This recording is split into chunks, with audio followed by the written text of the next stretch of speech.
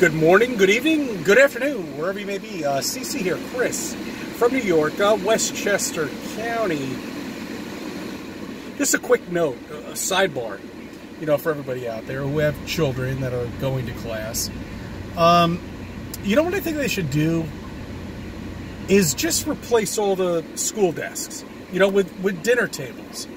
You know, I mean, that's probably the best thing to do because apparently when we all go out to eat dinner and we're gorging with food in our mouths, the boogeyman won't come out. You know, so just fuck it. You know, just just put a nice little dining table in the classroom so they don't have to wear face masks. Thank you for subbing and thank you for viewing my videos and letting me be a part of your life.